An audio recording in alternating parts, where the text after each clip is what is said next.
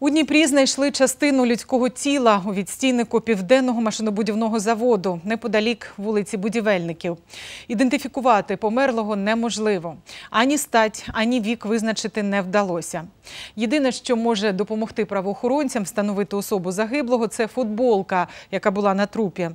Наразі фрагменти тіла та одяг відправили на експертизу для встановлення терміну події. Поліція просить допомогти встановити особу людини. Подивіться уважно, можливо, ви володієте потрібною інформацією. Телефони поліції ви бачите зараз на своїх екранах. Наразі вживаються заходи щодо встановлення особи та всіх не всіх обставин події. Е, За вказаним фактом слідчі Чичилівського відділення поліції внесли відомості до єдиного реєстру досудових розслідувань за статтею 115 Кримінального кодексу України умисне вбивство.